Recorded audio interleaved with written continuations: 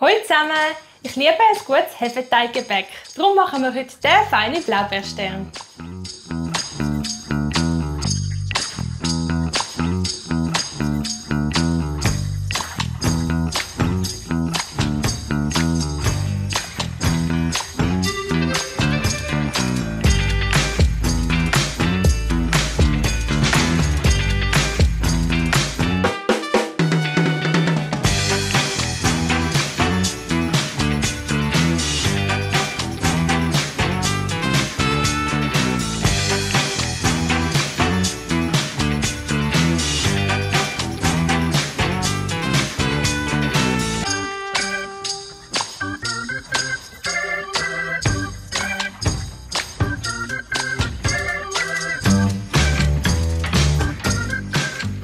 Der Blaubeerstern sieht super aus und Füllung haltet ihn schön saftig.